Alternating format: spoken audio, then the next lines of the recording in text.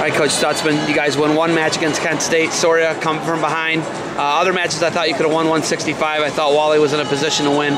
Uh, couldn't quite get off the mat, lost a couple scrambles. Uh, it's been a, you know, it's going to be a tough transition for you guys, but how has the process gone for you guys, for Buffalo thus far, you've been in your first year? Uh, you know what, the process has been great. You know, we got a, we got an unbelievable recruiting class coming in, so I'm happy about that.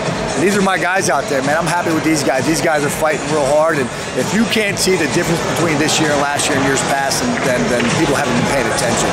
We're wrestling hard. These guys are scrapping. They're trying.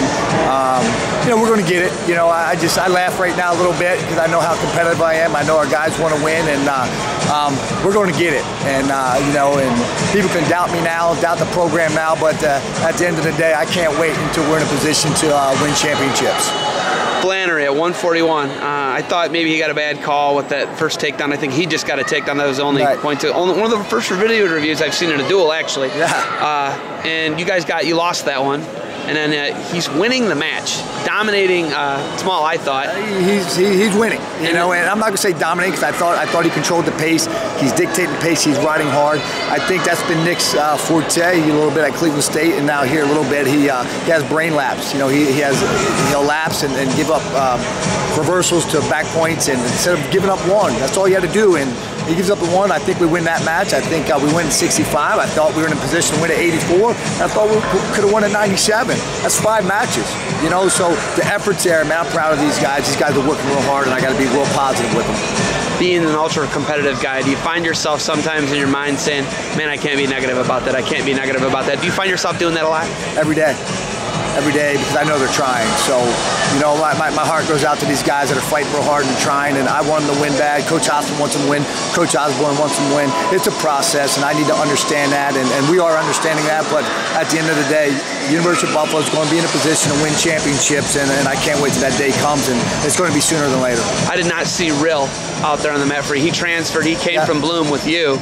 Actually, he committed to Bloom yes. and never went to Bloom. No, so no, he went to Bloom. He went to Bloom for a year. Yeah. He came with you. He trained. He's a, a Maryland kid. Yeah. Uh, are we going to see him in your lineup at all this year? Absolutely. I'm in a process right now pulling everybody down to the right weight class. Wally Maziarz for me is a 57 pounder. Uh, Tyler Rose is a 65 pounder. Rock Nadoke is going up to 74. Um, John Northrup's going down to 49.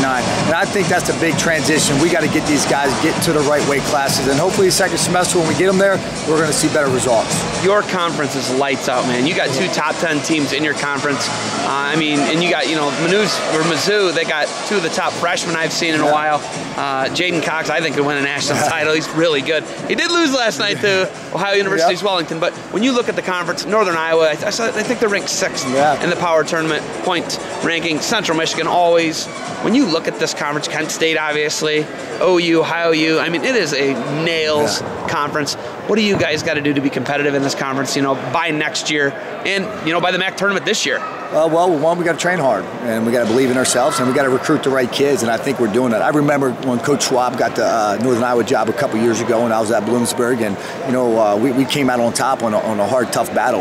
You know, three, four, five years later, this guy's ranked sixth in the country because he did it right and uh, we're going to do it right. We're going to take our time and build it right, and get the right kids, and, and, and I'm expecting that's where we're going to be. You know, but this conference, the MAC conference, is unbelievable. Don't forget about Eastern Michigan and Northern Illinois. Those guys are having great years, and, and Old Dominion. I mean, this, this conference is, is the premier conference in the country. We're excited to be a part of it, and, and we're going to get it done doing things right. You know, speaking of it, you did things right at Bloomsburg, and now I think that, and this is just my opinion, but I think the fruits of your labor are being shown under Jason Mester right now, and that's good for Mester, but it's kind of bad for you because now you're here with Buffalo rebuilding you look at Bloomsburg and the success they're having. I mean, Bustler knocks off right. Maple, and I'm looking at some of the other. Veltry's having a great year. Uh, Richard Perry's having a great year. I look up and down that lineup. You know, Grant could have a great year. They just they have a phenomenal team. Is that hard for you? And do you pay attention to what you know Bloomsburg's doing because right. you build it? Well, I had I had a lot of great assistants to help me build it, um, but I'm not. Uh, I'm happy for those guys. You know, Mike McFarland, the athletic director, there, is unbelievable. Um, I think Jason Mester is doing a great job. He's going to continue building Bloomsburg's program. Um, I'm happy for those guys. I keep tabs on those guys. I love those guys, especially the Rich Perrys and Mike DeCinos and Bryce Busters. Those guys have been unbelievable to me and my family. But at the end of the day, I chose to come here to the University of Buffalo because, once again, I believe that the University of Buffalo can win national championships, and we're going to put ourselves in position to compete at a high level. Coach, you got anything else for me? You know, I, the score. I don't think the score indicates of our effort, and we're we're going to we're getting better. You know, it's a process, and I believe in it. The coaching staff believes in it. The administration believes in it. We're going to get it done. All right, coach. Thanks for your time. Thank you.